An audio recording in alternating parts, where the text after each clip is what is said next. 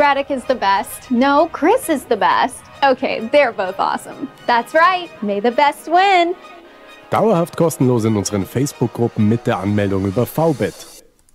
Ja, herzlich willkommen und ein frohes neues Jahr 2019. Wir werfen einen Blick zurück aufs Wettjahr 2018 und geben einen kurzen Ausblick auf 2019. Chris, Custodian. Genau so sieht's aus. Radek, Vegas. Ja. Greif mal an. Greifen wir an. Wir haben Ist ja Standard, dass man einen Rückblick machen muss von 2018. Dann hat man auch mehr Glück in 2019. Und besonders viel Glück hatten wir, dass wir nicht komplett gehasst worden sind. Das haben wir am Anfang gesagt, als wir unsere Gesichter präsentiert haben. Und ähm, wir sind eigentlich sehr zufrieden mit der Entwicklung von unserem Kanal. Angefangen Anfang des Jahres mit wie vielen Leuten? 600. Und jetzt sind auf 2300 angewachsen. Und das sind fast 400 Prozent Wachstum und kann man schon zufrieden sein. Und wenn wir das jetzt 2019 nochmal vervierfachen, sind wir fast bei 10.000. Aber gut, äh, die Anzahl der Abonnenten ist jetzt nur sekundär. In Wahrheit geht es uns natürlich um die Qualität der Abonnenten und da seid ihr schon mit Abstand die Besten. Und äh, wir haben natürlich eine Facebook-Gruppe, die nennt sich Wettvorhersagen für alle, die Facebook noch die Stange halten, auch wenn es vom Aktienkurs der Firma immer berg immer weiter bergab geht und damit entgegengesetzt zu unseren Wetteinnahmen. Aber die Mitgliederzahl hat sich auch auf 1050 entwickelt und äh, ja, macht Spaß. Es gibt einige, die da äh, oft kommentieren und dabei sind und Wetten posten und da werden wir auch 2019 einiges machen. Genau. Vor allem nutzen wir schnell das Video, um Danke zu sagen für jeden einzelnen Abonnent, sowohl bei Facebook als auch bei YouTube. Hm, danke. Danke. Dann kannst du äh, was über deine Special Group, weil wir haben ja neben dieser Wettvorhersagengruppe, wo einige Wettarten zusammenfließen, auch verschiedene Special Groups. Du hast eine NBA-Gruppe, genau. Basketball. Ja, ich habe es in einem anderen Video einmal die Analyse Wetten von der letzten Saison angedeutet. Für mich ist das Wetten eigentlich ideal gewesen, um weiterhin NBA Basketball intensiv zu verfolgen. Äh, wir sehen es hier in der Statistik ein bisschen. Letztes Jahr äh, einen positiven Yield von 4,8% gehabt und Anfang dieser Saison erst ein bisschen Minus, jetzt im Dezember ein bisschen Plus, insgesamt auch ein Plus und sind noch ganz optimistisch, dass es auch wieder am Ende positiv ausgeht. Eben, das ist auch in der NBA Basketballgruppe zu sehen. Und äh, alles, was kein Verlust ist, ist ein Gewinn. Und da müssen wir doch unsere Mädels hier ganz kurz nehmen. Das ist eigentlich so ein bisschen, äh, posten wir auch in unserer Facebook-Gruppe vor allem letztes Jahr die Damen-Basketball-Bundesliga und auch das ein oder andere Nationalländerspiel. Äh, läuft ganz gut, 183 Wetten zu einer Durchschnittsquote von 1,88 angespielt und das mit 63% Winrate. Den Yield sieht man leider nicht mehr, der Yield war bei 12%. Ja, wenn Überragend. Du, wenn du rutscht, wird es man sehen. Ja. Und mit deinem Tipp, Radek, muss ich ganz ehrlich sagen, läuft es dieses Jahr noch besser, denn äh, waren relativ clever. Die Quote göttliche 71 Prozent äh, bei einer Quote von 2,05 und einem Yield von 32 Prozent. Also das läuft richtig gut und warum danke dir, weil du gesagt hast, dann setzt doch einfach mehr Geld drauf, wenn, wenn das eh ganz gut weißt und naja. Ja. Wir mögen Frauen halt. Zumindest beim Basketball. Nein, auch sonst. Gibt schon ein paar nette. Und dann äh, in der Double Bets Gruppe meine eigentlich hauptsächlich Fußball-Wettgruppe, äh, die angefangen hat mit Double Bets um die Quoten von 1,4 kombiniert zu einer Quote von 2,0 und äh, im Laufe der Zeit aber immer mehr Einzelwetten um die Quote von 2,0 geworden sind. Ähm, da haben wir einen sehr durchwachsenen Verlauf. Wir gingen mal rauf, mal runter.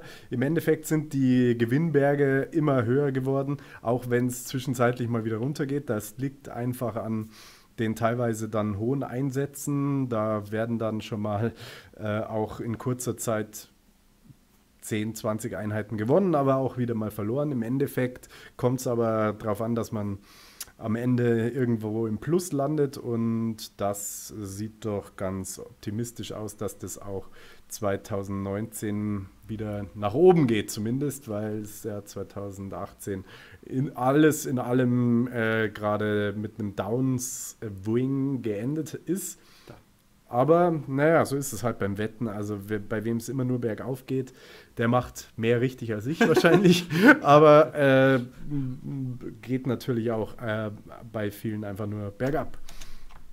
Meine zweite Gruppe, äh, die 3xBet-Gruppe, ähm, ist eine Eishockey-Gruppe und die hat es in sich, auf die habe ich mich jetzt äh, sehr konzentriert in den letzten Wochen, auch müssen, weil es äh, schlecht lief. Also man kann sehen, äh, der November begann mit minus 36 Einheiten und hier sind wir.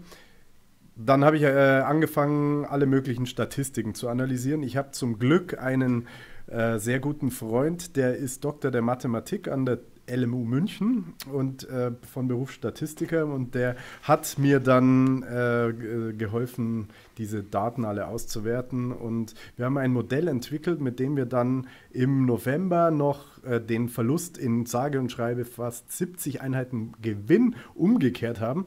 Doch dann, was kam dann? Wie jedes Jahr Weihnachten, irgendwo war der Wurm drin, die Favoriten haben nicht mehr geliefert und es ging, es ging in den Keller. Ich habe dann äh, Weihnachten und die Tage zwischen Weihnachten und Silvester genutzt, um äh, noch härter und intensiver zu analysieren. Und äh, die Kurve ist wieder nach oben gegangen. Also das liegt auch an äh, einer größeren Zuverlässigkeit der ähm, Mannschaften, die kann man wieder besser einschätzen. Vor Weihnachten war in vielen Sportarten oft äh, der Wurm drin, wenn man hauptsächlich auf Favoriten tippt.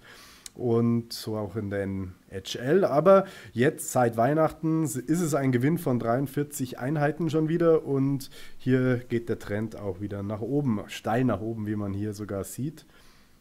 Und ich bin nach wie vor von meiner äh, Statistik äh, überzeugt, dass das auch so relativ weitergehen wird. Vielleicht geht es dann wieder auch mal nach unten, aber. Solange es am Ende positiv ist, ist es ja alles perfekt. Genau. Und besonders positiv soll es bei uns dank einem Typen werden.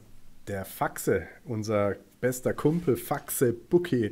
Er ähm, hat vor ein paar Monaten das Licht der Welt erblickt und eigentlich erst im Dezember haben wir dann eine Faxe Buki Challenge bei einem Wettanbieter gemacht, haben dort den Bonus mitgenommen und aus den insgesamt 400 Euro Einzahlungen wurden 939 Euro in einer Woche gemacht, entspricht äh, natürlich ein Gewinn von über 500 Euro. Und ja, wir machen auch im äh, neuen Jahr eine Faxe Bookie Challenge. Die beginnt am 15.01. Und ähm, ihr könnt euch schon anmelden äh, unter äh, xbet.tips auf unserer Webseite slash Faxe oder schaut euch mal um auf der Seite und abonniert unseren Newsletter oder unsere äh, Wetttipps per E-Mail und dann verpasst ihr diese Challenge auch nicht. Der Wettanbieter wird äh, im Laufe der nächsten Woche dann bekannt gegeben. Wir sind da noch äh, nicht ganz sicher, wo es denn den besten Bonus gibt, ähm, aber es soll halt ein 100, äh, vielleicht sogar 200 Euro Bonus dann freigespielt werden, um auch mal ganz gut ins neue Jahr zu starten. Wir werden dann aus unseren Gruppen NBA, NHL und auch Bundesliga ähm, die besten Tipps jeden Tag, auch in unserem Telegram-Kanal dann veröffentlichen. Aber das erfahrt ihr alles, wenn ihr euch für die Back kostenlose Faxe Bookie Challenge anmeldet. Muss man immer dazu sagen. Also wir wollen da äh, nicht an euch verdienen, sondern mit euch. Und deswegen auf ein erfolgreiches 2019. Radek is the best. No, Chris is the best. Okay, they're both awesome. That's right. May the best win. Dauerhaft kostenlos in unseren Facebook-Gruppen mit der Anmeldung über VBET.